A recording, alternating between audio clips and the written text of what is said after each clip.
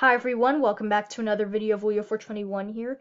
As a special dedication to HAS27, who wants to know how to install the old version of Skyscraper Simulator? Now I use 1.11 alpha, but but want 2.0 alpha 7, which is an older version, even though I the 1.11 is the newer version.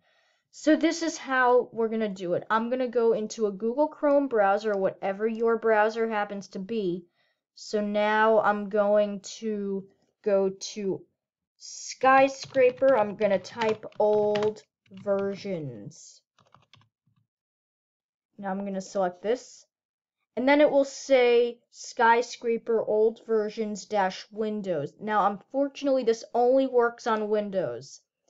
And now I'm going to go here. I see Alpha 8, Alpha 7, and Alpha 2. Alpha 2 is very old and I don't recommend it. But here's Alpha 7.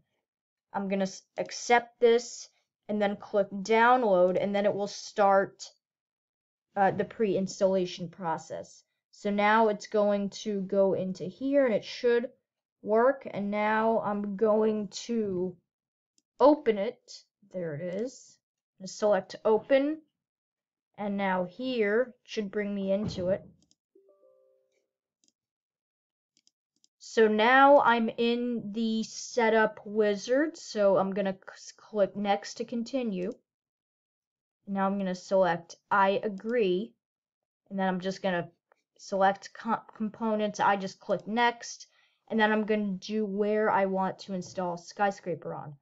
So now I'm going to go here. I'm going to pause and put it in a different location. Okay, so now it's just going to ask me where I want to do it. So I'm just going to select right here. Uh, where's Skyscraper? Oh, there it is. Okay, and now it will start installing it. This took this took me about a couple of seconds, but really it's a matter of your computer for this part.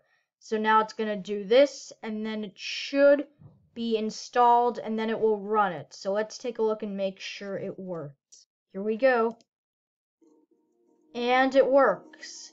So now I'm just going to test it out here. We're going to test... Uh, let's try... Let's do just... Let's just do the simple.